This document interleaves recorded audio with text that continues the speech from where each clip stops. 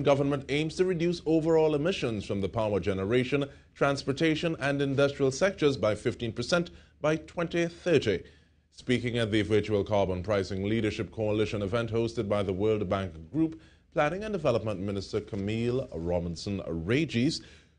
was saying that the goal is in line with the Paris Agreement to achieve emission reductions locally.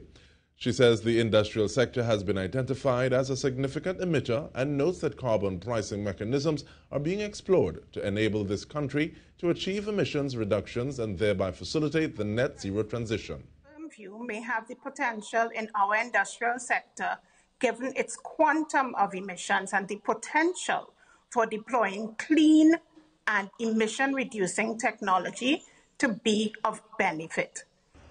Minister says Trinidad and Tobago has also targeted the transportation sector to reduce emissions. We have instituted, at the cost of the state, an ambitious fuel switching program